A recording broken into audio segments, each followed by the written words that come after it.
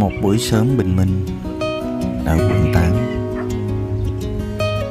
Thoáng ở đây những căn nhà cao tầng